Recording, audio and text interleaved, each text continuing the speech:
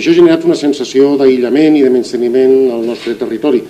El segle XX no ha millorat això, la destrucció de la Guerra Civil i tampoc la industrialització a Catalunya als anys 60 i principis dels 70 tampoc no va significar que es prestés atenció a les Terres de l'Ebre, el qual va augmentar aquest sentiment.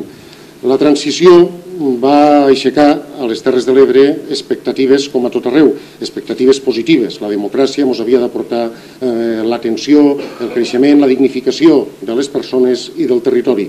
Però, malauradament, 23 anys de govern de Convergència i Unió han mantingut les Terres de l'Ebre sense temor exageracions amb un cert oblit. Eh, precisament, si no havíem participat del creixement industrial del nostre país era perquè hem estat, això és un fet geogràfic, lluny dels grans centres de creixement industrial, fonamentalment de l'àrea de Barcelona, també de la de València. Al segle XX, i sobretot ja a la segona meitat, dels anys 60 i 70, la, el desenvolupament de les comunicacions eh, hagués permès ja començar a corregir aquesta situació i sobretot a partir de l'any 80 ja amb la Generalitat recuperada eh, si hagués hagut un esforç d'inversió important en millora de les comunicacions segurament aquesta realitat hagués anat canviant progressivament. Això no va estar així, això no ha estat així i aquesta sensació entre la nostra gent s'ha anat extenent. Va fer falta només, eh, d'alguna manera, la, la, l'agressió que significava la proposta de Pla Hidrològic Nacional per acabar d'afegir aquest sentiment.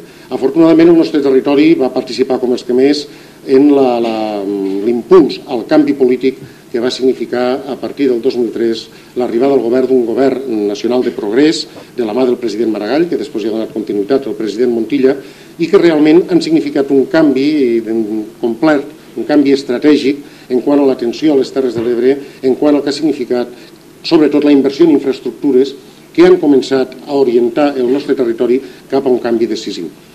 Amb tot, la conjuntura ha canviat. Quan arribem al govern l'any 2003 estem en un període de creixement econòmic i avui hem entrat ja des de fa un parell d'anys en un període de recessió important.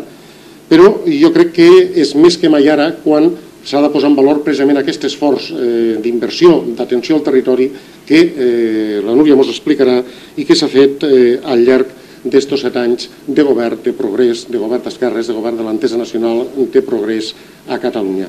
És precisament eh, per aquesta conjuntura de crisi en aquest moment quan hem de posar en valor el que és crear les condicions i que s'han anat creant i es continuaran creant si hi ha continuïtat de l'obra de govern al llarg dels propers anys, precisament per a possibilitar que la recuperació econòmica que probablement s'està iniciant ara i que ha de vindre, realment les Terres de l'Ebre juguem en la primera divisió nacional. Juguem precisament en clau de competitivitat amb la resta de territoris de Catalunya. Estem en moments de canvi. Estem en moments, eh, la crisi no deixa de ser un moment de revulsiu, però sobretot de preparació del futur. Eh, si em permeteu una comparació, potser algú pensarà que no ve molt al cas, però els que ens dediquem a això de la història sempre anem en comparacions d'aquest tipus. No? Estos dies s'ha celebrat el 200 eh, aniversari de la Constitució de Cádiz. Eh, es va fer-se un acte l'altre dia solemne a Cádiz, institucional, precisament eh, per celebrar l'aniversari del que va ser la primera Constitució liberal que reconeixia la sobirania del país. No estem parlant ara de sobirania, però dic només perquè eh, jo m'he preguntat moltes vegades com altra gent com és possible que en plena ocupació dels francesos, en plena crisi a tota Espanya hi hagués una sèrie de gent en la mentalitat prou oberta i prou avançada com per tancar-se a Cádiz, a l'illa de San Fernando, i posar-se a planificar el futur del país fent una nova Constitució. Doncs bé, en moments de crisi com l'actual és el moment d'invertir, és el moment de treballar, és el moment de pensar el futur. En el marc d'allò que la Unió Europea ha definit com l'estratègia 2020, la nova estratègia de Lisboa, aquesta estratègia de creixement, de creació d'ocupació de qualitat, de creixement sostenible, de formació dels nostres ciutadans, de reducció de la pobresa. Aquesta estratègia que és la base per a que Europa jugui en el futur. Una estratègia que és per a tota Europa, és també per a Espanya, per a Catalunya i també per a les Terres de l'Ebre. I precisament és en aquest marc en què hem de sentar les bases a través de la inversió per poder possibilitar aquest creixement. Això està la nostra acció de govern i això sobretot és la nostra expectativa immediata de futur positiu que la Núria estic segur que ara eh, mos explicarà en claretat i de manera magistral. Gràcies, Núria. Gràcies.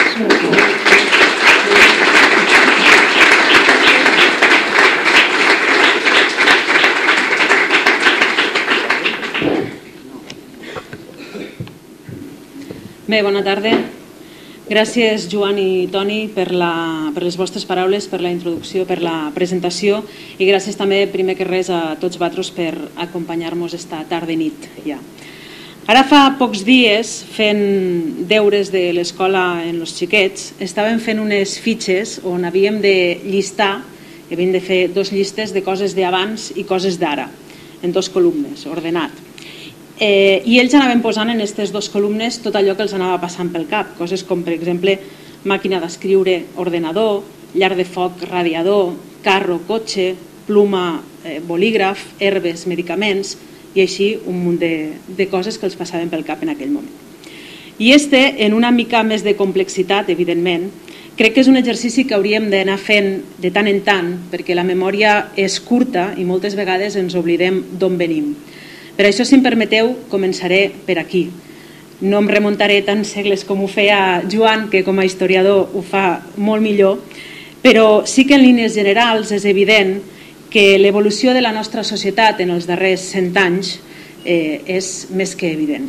Sense anar més lluny, l'esperança de vida, una de les dades més significatives que demostra com hem evolucionat, ens diu que l'any 1936, abans de la guerra, era a Espanya de 50 anys.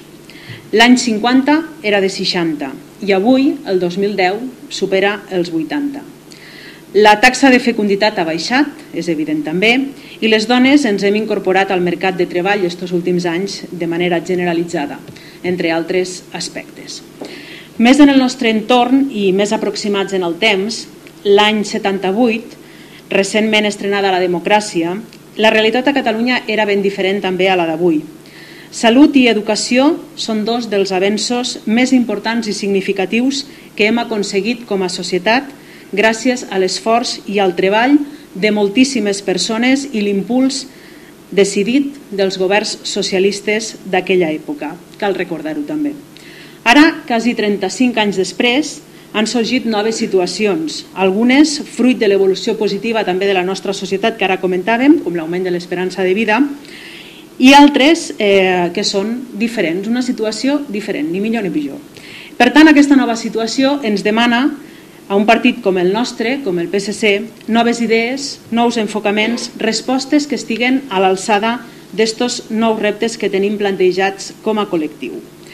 El PSC, com a eina de transformació social, reafirmant sempre els nostres valors de justícia social, llibertat, catalanisme i universalitat, hem demostrat estar amatents a tots aquests canvis.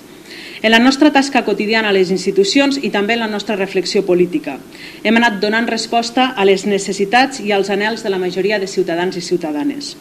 Perquè un partit com el nostre, un partit progressista i transformador, ha d'estar sempre i en tot moment al servei de la societat. Esta evolució positiva en alguns aspectes, però, lluny de dur-nos a la paràlisi autocomplaent, és un estímul per seguir canviant, per continuar interpretant una societat que ens transforma dia a dia, i més en territoris com el nostre, que ha quedat enrere i ara ha de recuperar el temps perdut. A l'Ebre, ho recordareu bé, les aigües baixaven revoltes a principis del 2000 Intenses mobilitzacions socials, bàsicament protagonitzades pel no al Pla Hidrològic Nacional del Partit Popular i Convergència i Unió, van fer reaccionar el territori sencer, que de forma unànim vam sortir al carrer per dir no al macrotrasbassament, però també per dir existim i som catalans de primera. Reclamàvem ser i reclamàvem inversions per part d'un govern que durant 23 anys ens havia deixat de banda, ens havia ignorat i només se'n recordava de nosaltres, en aquest cas, quan necessitava els nostres recursos naturals. Així, arribàvem als primers anys d'aquesta dècada amb una manca evident d'inversió pública, amb clares deficiències en els equipaments de salut, educatius i de serveis socials, un dèficit en infraestructures amb un estat deficient de la xarxa de comunicació, tant viària, ferroviària com portuària, també de telecomunicacions i dificultat de provisió de serveis bàsics com l'electricitat, tot i ser un territori productor d'energia. Amb tots aquests elements és evident que difícilment podíem competir amb altres territoris i amb altres països a nivell econòmic. Difícilment una empresa podia créixer o podia instal·lar-se en alguna de les nostres quatre comarques. I a banda de la falta d'infraestructures, lamentable era també la falta de planificació, l'absència d'horitzó, ni plans ni projectes